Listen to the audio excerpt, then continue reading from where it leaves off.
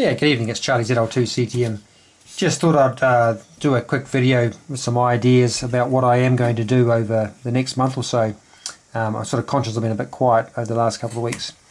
Um, I've got several business trips over the next two months actually, which is going to be taking me in and out of the office uh, quite a bit. So I just want to sort of get a few ideas ready to go that when I am at home, um, I've got something to work on.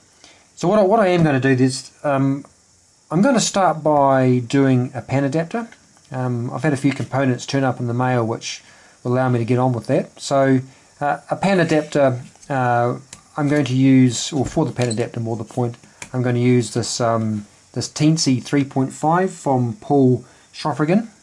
Um, a fantastic little uh, microcontroller here. The microprocessor itself is an ARM Cortex uh, M4 uh, running at 120 megs, uh, significantly more powerful that you than you would typically see on, uh, say, an Arduino board. Uh, and as a consequence, when you use Paul's very, very good uh, audio um, analysis library, I guess, or tool set that he's produced for this particular microprocessor, uh, you can do some pretty interesting analysis and, and effects. Uh, you, you, need this little audio board here, which allows you to, once it's married up, uh, to feed in audio left and right here, uh, and then do all the manipulation uh, on the chip, and then feed it back out through uh, through the output there. So uh, that's the plan to use that as the as the as the brain, so to speak, and then have this display here actually displaying it out. So the pan adapter. Um, as you know, is, is time is in the y-axis there, sort of coming down like a waterfall and then frequency along the x-axis. Um, it'll be interesting to see if I'll be able to do it um, using this.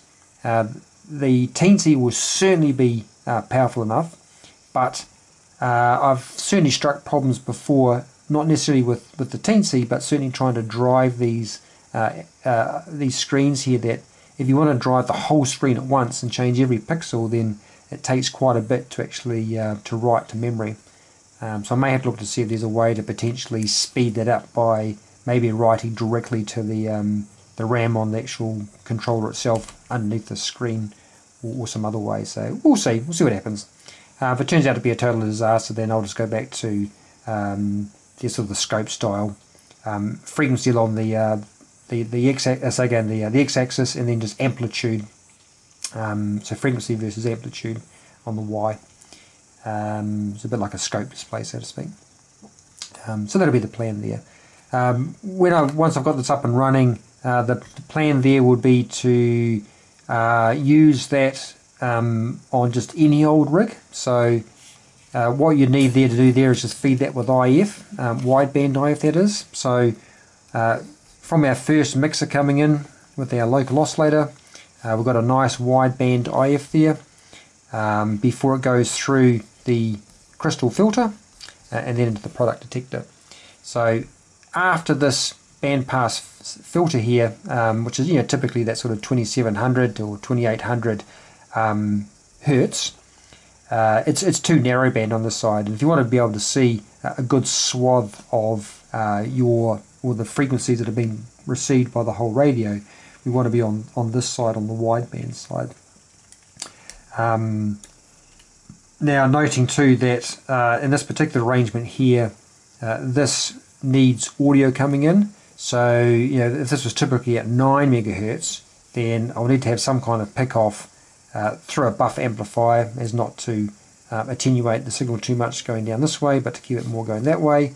Uh, then they'll need to go through some other kind of um, detector there to, to drop that down to audio frequencies uh, with some kind of um, local oscillator there. So I'd probably have a look at that for a start um, and then look to migrate uh, the, the Teensy and the display which is here across to um, an SDR rig. So I'd use the same Teensy uh, to to then basically um, create a, um, a software-defined radio. So probably go for a phasing technique there. So uh, two mixers coming in. Um, not quite sure what they'll be at this stage of the game. Uh, probably ADE-1s or SBL-1s, we'll see.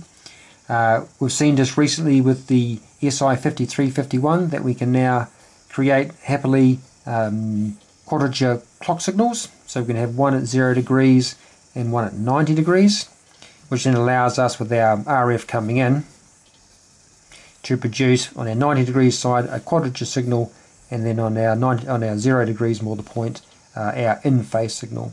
Now because this Teensy here wants to see audio this will be a direct conversion receiver here so we'll have the uh, the SI5351 running at the same frequency as our incoming RF to produce our audio frequency um, and then we'll feed that into the Teensy itself um, because it's going to be a phasing uh, rig we'll need to add or create an additional 90 degrees phase shift between these two lines here before we ultimately um, either add them or take the difference to recover our lower sideband or our upper sideband. Um, so we'll look at uh, some ways to, to introduce that additional 90 degrees. Um, probably using, in fact we will be using um, Hilbert transforms, so we'll have another, another look at those.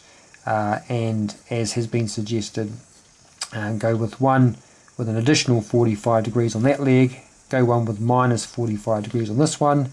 The difference between these two is 90 degrees, so we've now introduced our additional 90, um, and then over here we can do our our addition or our subtraction to recover our desired sideband. And like I say, this is all being done inside um, inside the Teensy. So that's that'll be the approach. Um, and we'll cover it again in, much more depth at the time. But you know, the reason why we have both a, uh, a 45 degree and a minus 45 degree Hilbert transform here um, is to get the same um, time delay. Uh, with a digital filter, there will be there will be some time delay between the input and what comes out. So by having two identical ones, we get the same time delay. So that at these points here, we're still um, in phase, so to speak, um, by time that is. Anyway, so uh, that's would be the plan to, like I say, migrate uh, this pan adapter, should it work, uh, through to the SDR rig um, to, to control the SI5351 and then to also um, display the output um, on the screen. So that's the uh, that's the thinking. That's what I am going to do over the next month or so, um, which will allow me then to also tackle this radio here, which was built some time ago, um, which was a an old SDR rig. Um, again, another Teensy 3.5 over here, and uh, just totally revamp that one. Um, in regards to these these bandpass filters here, what I am thinking about doing is using uh, some filter blocks. So came across these um, a couple of weeks back, so I decided to buy a few just to have a play around with. So traditionally, what I have been using to date are these sort of standalone relays. Um, if I was to buy these relays from a local supplier, they're, oh gosh, I think they're around $6.50. Let's just round it to $6. So pretty expensive, really. Um, and I've sort of found out that I can purchase, for example, one of these, which uh, is a higher spec um, relay in terms of current, but it comes with um, little MOSFET down there for, for switching it, uh, you, you, give it ground and VCC and then a logic level 1 coming out of a microcontroller, so notionally 5 volts, which will then allow you to switch this. Um, this costs $1. So for $1 I get a board which is all set up ready to go versus $5 or $6 odd for, for a relay which I've still got to solder down, still got to add in the, um, the, the flyback relay there, the Sagain diode um, and the like. So I'm going to try some of those um, and then have all the switching for the various relays coming from the microcontroller as opposed to um, uh, an external 12 volts for switching these. Um, this is a subtly different version. So this one here has four of them all onto the one on the one module there. So I can see that straight away being quite a nice way to switch um, some bandpass filters. Um, so I am going to look at playing around with those just to see how well they perform and if there's any sort of uh, downsides. But I think if I recall, this one here was $4.50 each. So um, pretty, pretty good. Uh, you, you, know, I, I, can't, I can't beat that in terms of buying them individually. And like I say, one dollars for these. So I actually got 20 of those. So I've got a whole bucket full of those sitting around now, which I can use uh, for future builds. Um, uh, now, something else too which came up, which I am going to look at over this, this build, uh, in terms of this uh, SDR rig, um, it, will be a transceiver. So on the transmit side, in terms of the power amplifier, um, there's been, it's come up a couple of times now with you know, calling for ideas of, um, of things to build, is a, uh, a power amplifier from uh, W6JL. Um, if I recall, he has got quite a nice design. It's been, like I say, suggested a couple of times for a 50 watt uh, power amplifier. Uh, if I recall, I think it's um, MOSFETs, and I have a funny feeling I've also got them ordered. So, um, but suffice to say, you know, this has been a uh, desire from some, some some of you to, to have a look at, uh, and that will be the intent. So the intent will be to look at uh, an amplifier from W6JL. Um, and I think that's pretty well all I was going to cover off on this one. So just just an opportunity just to a quick video, uh, provide a bit of an update on um, on the several, several business trips. So I'll be in and out of the office. Uh, but like I say, when I am back in, um, the plan is to is to work on uh, a pan adapter uh, and then to work on uh, an SDR rig, having another close look at that. Um, I want to look at the logic here um, have another good play around with that. Um, have a look at this power amplifier. Um, and may even, we'll, see, these also turned up. So these are some little monolithic amplifiers. Uh, what I ordered, five of those, little MAR uh, dash 6 SMs. So just some, some little ones there. They uh, they also turned up in the mail. So uh, may have a look at those. We'll see what happens. But they'll certainly go in the junk box for later on. Um, very inexpensive from AliExpress. Okay, so I'm going to say 73 is there, and um, like I say, when I'm next back in, uh, we'll continue on and start the, uh, the pan adapter, and we'll go from there. Okay, cheers all. Have a good one.